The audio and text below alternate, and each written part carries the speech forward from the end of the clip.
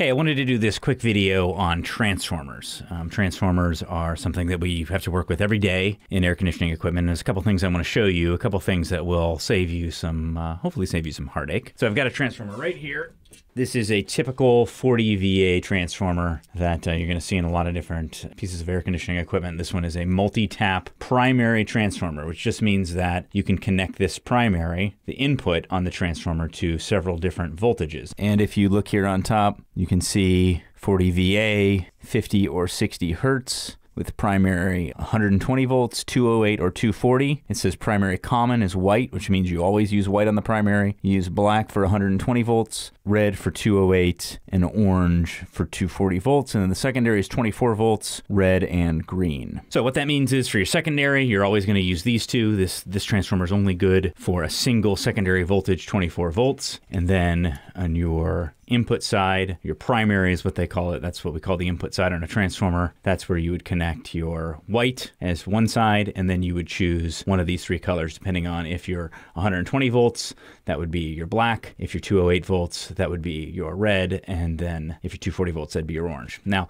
these come in a lot of different configurations. Some of them don't use wires, separate wires. They actually just have separate pins in them um, on the primary. The one thing, the first thing that I want you to know is that you're only going to use the white and one other color. You do not want to take the other two and then jumper them together. Obviously, you need to cut them cap them with a wire nut individually from one another rather than connecting them together. If you connect them together, now you are shunting the primary of the transformer and you are going to burn it up. I've done that before. So learn from my mistake. What does a transformer do? A transformer is designed to change a voltage either step up or step down. A step up transformer takes a primary that is of a lower voltage and then the secondary goes up in voltage, or step down where the primary is of a higher voltage and it goes down to a lower voltage, which is what we have right here. This is a step down transformer. If I was going to use this in a typical gas furnace, then it would be 120 volts, step down to 24 volts, and a typical residential uh, air handler would be 240 volts, step down to 24 volts. The way this works is actually very simple.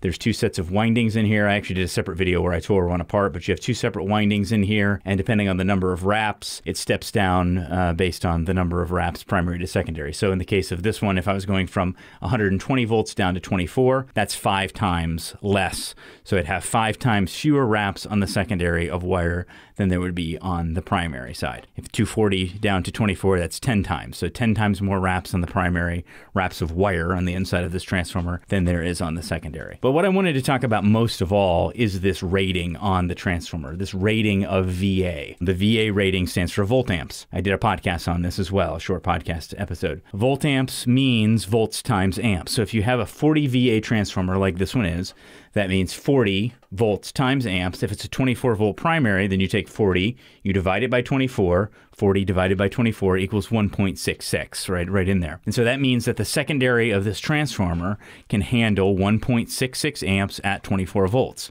24 volts times 1.66 equals 40 VA. So when you're looking at how many loads, how many th different things this this uh, transformer can power, you have to take that into account. How much amp draw is there going to be? And for a typical air conditioning system, this would be enough to power your, you know, contactor coil, maybe your reversing valve, it's a heat pump, your blower relay, just your control side. But using this one factory transformer to also energize, say, a UV light or other indoor air quality products, or maybe say a, a zoning panel with uh, damper actuators, those sorts of things, is, is probably not going to work. You're probably going to either have to upsize the factory transformer to a larger size, say a 60 or 75 VA, or add a second transformer to just power those secondary uh, devices, which is another popular thing that uh, that people will do. A couple things to know here is that when you add a secondary transformer, you are adding additional load load to the power that's coming into the air handler or furnace, and so you have to think about that when you're dealing with wire sizing, um, because now you are adding additional load to the system. But the main thing that I wanted to point out here is that VA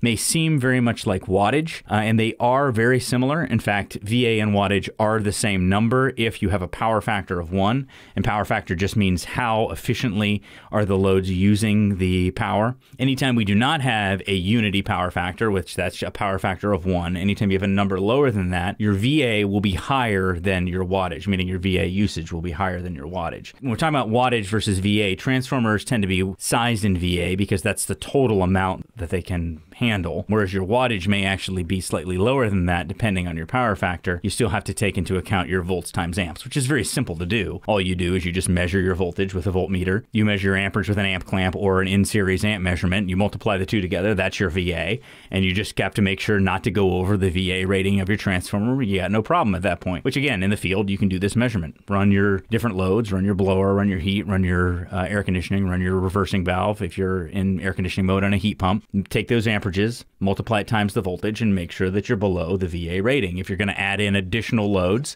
you have to do that same calculation. The VA rating is obviously rated at the voltage of the secondary side. So whatever the secondary side voltage is, that's what you have to account for. So that's it. It's actually quite simple. Um, another interesting thing to do sometime is to measure your amperage on your secondary and your primary on a system that's running. And what you're going to notice, if it's a 24 volt step down transformer like this, 240 down to 24, and let's say you're you're reading one amp on the secondary, you're going to read one tenth as many amps on the primary because you have 10 times higher voltage. So, as an example, if you're drawing one amp on the secondary, so I've got my clamp around the secondary red wire here with the thing running, one amp here. Then when I read on the primary, put clamp here, I'm going to only read 0.1 amp because 0.1 times 10 equals 1. If it was 120 volts, so say it was a gas furnace, then it would be five times as much, or five or five time divisor. So it would be 0.2 on the primary, and then 0.1 or 1 on the secondary. If it's a gas furnace, and so now we're using black and white for 120 volts,